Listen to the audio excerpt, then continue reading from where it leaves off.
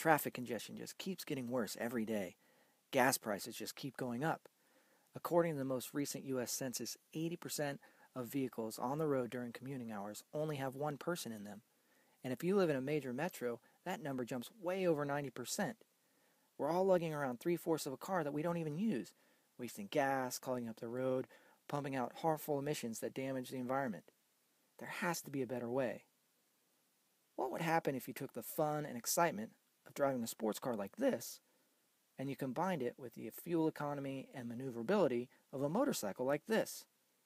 Well, this is the answer the Granger Motorsports CV1.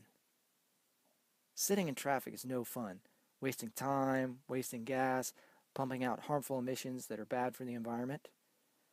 The CV1 is a one person commuter vehicle that is fun, fast, and an economical way to get where you need to go.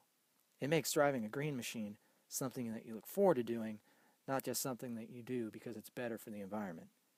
Because it's considered a modified motorcycle, you can drive it in a carpool lane, getting out of that traffic jam and speeding on your way to where you need to go.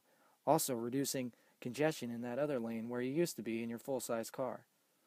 Because it's smaller and lighter, it also uses less gas than a conventional car. So go to GrangerMotorsports.com and learn more about the CV1. Write us a note, tell us what you think.